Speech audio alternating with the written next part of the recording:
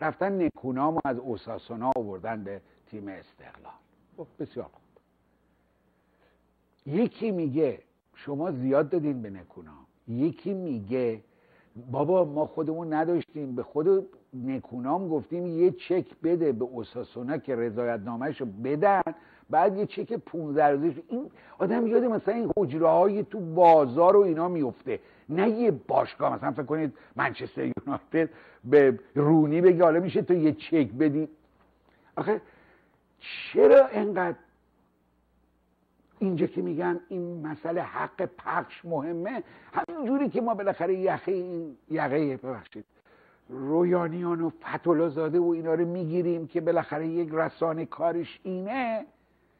واقعا ما اون یقه اصلی این حق پخش فوتباله. که اصلا تو تلویزیون من یه بارم ندیدم که یک جمله حتی در این رابطه غیر از ایشالله ماشالله گفته باشه. بریم این تیکه چک دادن نکونام و اینا رو با هم نگاه کنیم. آره اما منوط به این که به این باشگاه به باشگاه پرداخت کرده به باشگاه پرداخت می‌کنیم. البته من چون پول نداشتم پرداخت بکنم از آقای نکونام خواهش کردم که من یه چک پانزده روزه خودم رو. به ایشون بدم. ایشون از محل طلب هایی که داره پرداخت رو انجام بده.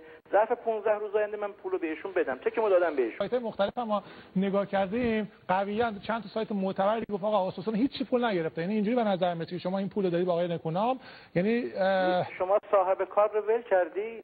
الحمدلله تو به روزنامه های چیزم کشیده شد. اون آره روزنامه نه، برای اصلا معتبره برای اسپانی اسپانیایی ها برای من هیچ اعتباری نداره. اصلا توی یه سایت یه سایت دیگه. هم بود که دقیقا پور. آقای نکونام رو بعد از آره با توجه به حقوق بالایی که داشت ایشون رو فری ایجنت اعلام کردن اینو بازیکن آزاد اعلام کردن. شما حالا هر چقدر مثلا دلتون خواسته آقا پول بده پول به جواد نکونام اینجوری یکم بازی رو عوض کردید در افکار عمومی که آقا انگار پول ما دادیم به باشگاه اساسانه به قول شما سقف هم که سقف نداره ما داریم پول میدیم باشگاه اساسانه در این پول همه رفته تو جیب آقای اه، نکونام نوش جونش هم باشه. اصلا هیچ مشکلی نداریم ولی من میگم یکم با مردم و با با اتفاقاتی که رخ میده این دیگه الان دیگه اساسانه معلومه چه آقای فردوسی من به مردم به شما قول میدم که ما صادق تر از جناب عالی با مردم هستیم. اینو مطمئن باشید. خیلی خوبه خیلی شما عالی به شما اگه اطمینان میدم. انقدر خوشم میاد فردوسی پور مور از ماست می‌کشه میره روزنامه خارجی پیدا می‌کنه که ببینه داستان چیه اساسونا یا پولی گرفته نگرفته خیلی خوبه. اما اگر تکیه بر این روزنامه خارجی میشه می‌دونید از صدا و سیما چی می‌نویسن تو روزنامه های دنیا؟ همه این صدا و سیما رو دروغگو سانسورچی و از این نوع مسائل قلم دادش می‌کنند همین الان این مصاحبه آقای افشارزاده آیا در این تلویزیون واقعیتش گفته میشه؟ آیا میگیم که چه کردی؟ من واقعا یکم دلم سوخت برای این فتح زاده که از یه طرف باید جواب این همه طرفدار رو بده که حالا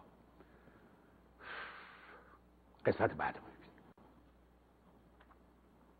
اینقدر بهتون شما که اسپانسرتون برگشت قرار 9 میلیارد براتون پول بیاره که همون چک اول 1 میلیارد. پول کلا کجا میاره؟ اصلا این سوال اصلا من آقای رویانه برم پول کجا میاره شما این بازیکن‌ها رو می‌گیرید آقای فردوسی پور آقای روحانیان که الحمدلله خب دستشون باز گفت دیگه. راست میگه. ایشون از دولت. یعنی دولت یعنی منظور ایشونه که من منظورشون رو بگم چون بعضیا مثل ما شهرستانی هستن یه موقع دوزارمون دیر میفته منظورشون از دولت یعنی وزارت ورزش.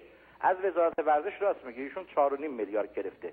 اما از در جاهایی که ایشون پستایی که دارن از جمله تبصره 13 از جمله حمل و نقل ریلی و سی ان جی که در اختیارشون هست اونها می‌تونه برای آدم ها یک قدرتی رو بیاره. قدرت یعنی قدرت یعنی پول؟ ببینید بله قدرت یکی از اسپانسرهایی که مثلا ماشین هست تبلیغات می‌کنه چطور به یه تیمی تبلیغ پول تبلیغات میده؟ حتی اینقدر تبلیغات میده که میگه هر وقت دلت خواست بزن هر وقت دلت خواست نزن. ولی ما که استقلال هستیم اصلا حاضر نیستن به ما بیان چیز کنن.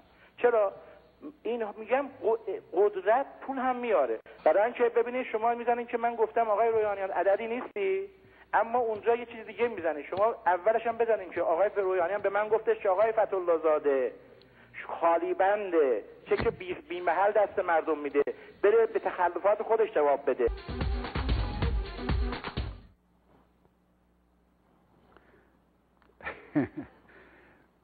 همون داستانه. یه تیکه دیگه هم داره اونم با هم ببینیم. بحث آقای رویانیان و آقای فتولا زاده دوی بعد از نصف شب به عنوان اینکه تنها مشکل پول گرفتن پول دادن های ما مثل اینکه همینه. ماه مبارک رمضان است. انشاءالله خداوند توفیق بده همه ما خودمون رو پالایش کنیم بسازیم. هنر مدیریت باشگاه پرسپولیس بود که با رأی هم که مردم دادن انتخاب بهتری نسبت به شاید که تیمای دیگه داشت و این نشون میده که مدیریت باشگاه خوب عمل کرد و هوشمندانه عمل کرد. به نظر شما کدام مدعی بهترین عملکرد را در فصل نقل و انتقالات داشته است؟ یک استقلال دو پرسپولیس سه تراکتورسازی چهار سپاهان. حتی توضیح من پرانتز بگم چون کلا در تمام نظر سنجی تعداد پرسپولیس بیشتره مثلا ما اگه واسه بهترین بازیکن فصل مثلا پارسال هر بازیکنی که 5 دقیقه تو پرسپولیس بازی گذاشت این نگاه هست همیشه پرسپولیس به استقلال احساسی رای میدن. این تعداد پرسپولیس بیشتره دیگه. آره به حال آره منم به احترام منم به احترام این تعداد بیشتر. فرمودن دوستان که 20 میلیارد تومان تیم بسته. این دروغ محضه که در ماه مبارک رمضان اتفاقا گفته شده. علیرغم تاکید که دوستان می‌کنن دروغ نگین. من نگفتم شما از دولت استفاده گفتم این مدیریت هایی که شما دارید اینها قدرته از قدرت میشه استفاده کرد. مگر شما اوپل و اوتپل و آیودینا مال کجاست؟ اوپل مال شرکت صدراست که شما مدیر عاملش هستید یا اخویتون مدیر عاملش هست. چطور به تیم های ما نمیده؟ بذاریم چیزایی که بسته میگیم بسته بمونه. ببین شرکت صدرا شرکتی است که مال همین به اصطلاح چیزای سوختی و بنزین و مال شرکتی است که اوپل هم عضو اون شرکته یعنی سهامدار اون شرکته. تو اون شرکت هم یا آقای رویانیان مدیر عامل اونجاست یا اخویشون مدیر عامل اونجاست. اگر این سمم عرض کردم که این سمت ها و این قدرت ها برای آدم کمک می‌کنه در پول در آوردن اگر شما در صدرا نبودین آیا اوپل به شما پول می‌داد به سینتون بزنین من حرف غیر منطقی نمی‌زنم چون ناراحت میشی برادر عزیز من. حالا شما یه سوال اگه شما مثلا با انصاری اینا نبودید توی این بازار نمی‌دونم مبل و اینا اصلا این هم همچین اتفاقی رخ نمیده. به هر حال این ببینید آقای آقای فردوسی پور عزیز ما بازار مبل با آقای انصاری یه شرکت خصوصیه. یعنی یک آدمی که شرکت مال خودشه. یعنی چیز دولتی توش نیست.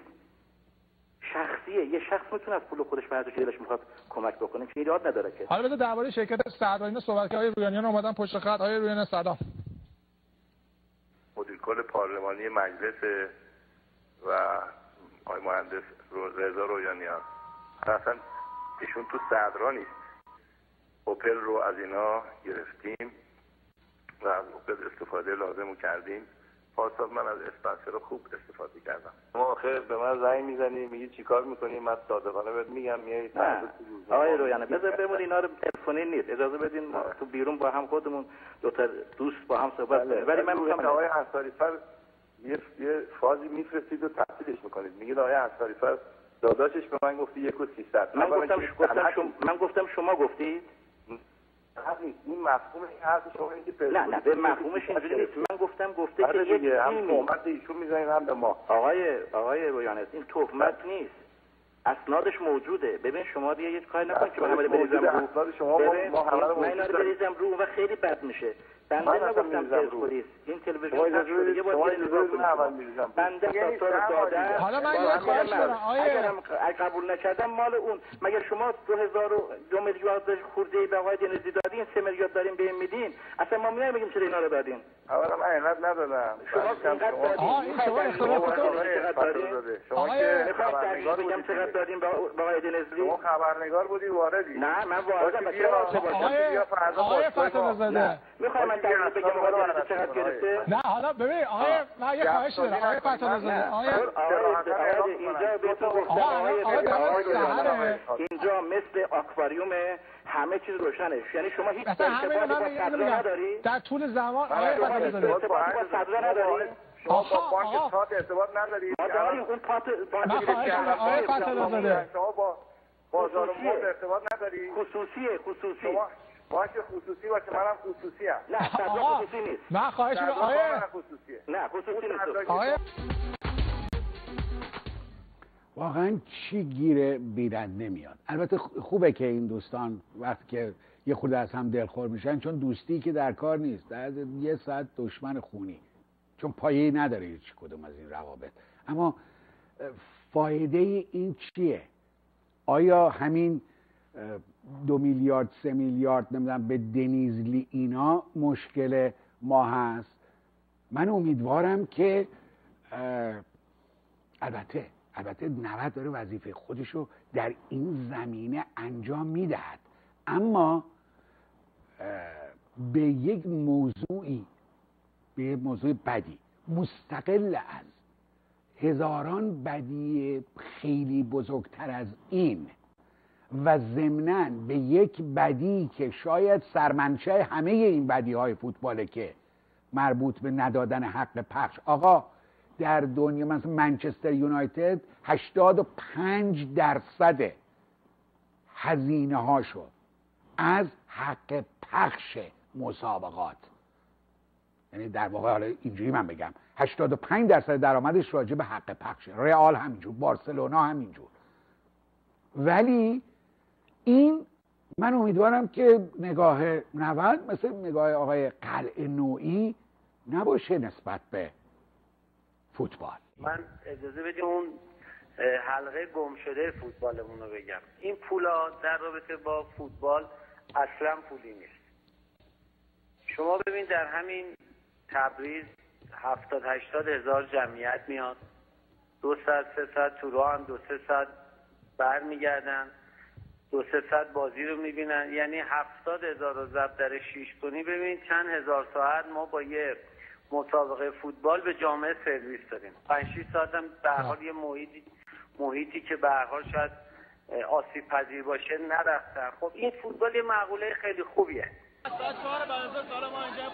بازی دارن؟ باید دو ساعت سه ساعت قبل از بازی درای استادیوم باز بشه.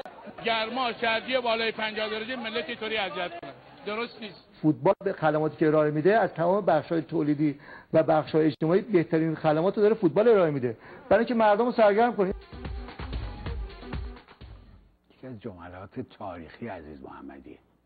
واقعا دست درد نکنه. به خاطر همین یه جمله. این مقوله خوبیه. آقای قلنویی ضرب و تقسیم هم می‌کنی. سه ساعت توران میرن. سه ساعت توران بر میگردن دو سه ساعت هم که بازی من نمی‌دونم چرا بازی دو سه ساعت حساب کردی. یه ساعت و نیم حالا با هافتای میشه اینا مثلا دو ساعت. بعدم ضرب در هفتاد هزار می‌کنی. میگی یک چندین هزار ساعت ما این جوونا رو مشغول کردیم. دم استادیوم تو گرما تو مسیر. و جای بدی نرفتن. فوتبال مقوله خوبیه برای سرگرم کردن. اقلا پولشو بهش بدی اقلا این تلویزیون پولشو بهش بده. می‌دونید چرا میگم؟ برای اینکه اگه شما پول حق پخش رو گرفتی دیگه کسی ایراد نمی‌گیره. چرا به بازیکنت انقدر میدی؟ حقته بازیکن رو نگاه می‌کنن مردم دوست دارن. اصلا بازی هم فرض کنید بلد نیست مردم دوستش دارن. از حق پخش باید حقش رو بگیره. اما تا زمانی که این حق پخش رو بهت نمیدن و از حقوق دولتی داری دو میلیارد یک میلیارد به یه بازیکن میدی اون وقته که یه کارمند دولت چون این بازیکن میشه کارمند دولت. یک میلیارد حقوقشه. یه طبیب یه معلم یه مهندس یه کارگر یه دبیر یه استاد دانشگاه. مگه چقدر حقوقشه؟ در کشورهایی که اونا دولتی هم مثل مثلا جمهوری چک حد اکثر حقوق بازیکن 100 150 هزار دلاره. چه خبره؟ حق پخش رو بدین شما هم حقتون رو بگیرید